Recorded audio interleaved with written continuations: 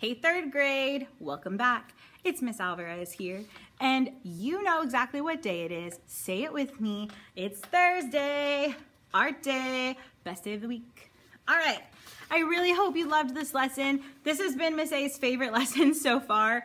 And um, I, I think it's just because it's so fun and it makes, it just makes me feel joyful and full of cheer. So the Wayne Thiebaud cakes turned out so cute. This is Miss A's, I colored it in, and you're gonna see more about this in the how-to video. Now, you get to use, um, if you have oil pastels, you'll use those today. If not, use crayons, because they look pretty cool.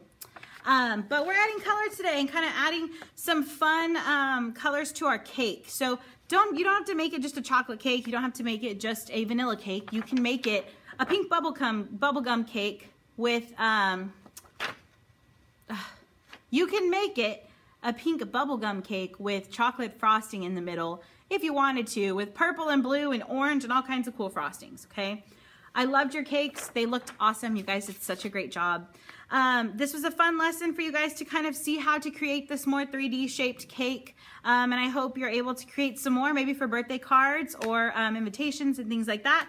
But um, have a great week, Lions. I don't have much to say because we're finishing up this lesson, but I will see you soon. Our next lesson is so fun. I can't wait for you to see it. But have a great week. I love you guys. I'll talk to you soon. Here comes the how-to video in three, two, one, yeah.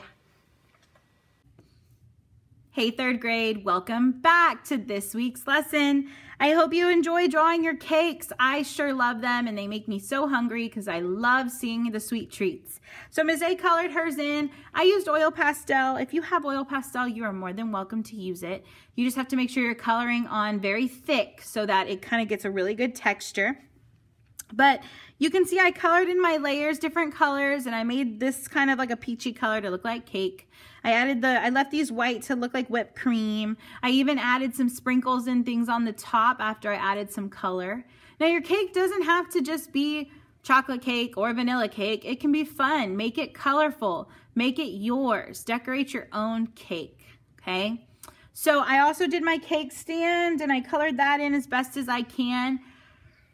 But today's lesson is really about adding your color. Crayons, markers, colored pencils, oil pastels. Really, if you have oil pastels, I really want you to try to use those. But if not, crayon, because you can really layer on the crayon the harder you push. But don't push too hard because you'll break your crayons. So color it in. I'm so excited to see them because this is just the cutest lesson and Miss A's had so much fun with it. But I hope you enjoy. I can't wait to see your yummy cakes. I will talk to you soon. Snap a quick picture and upload to Schoology. Bye, guys.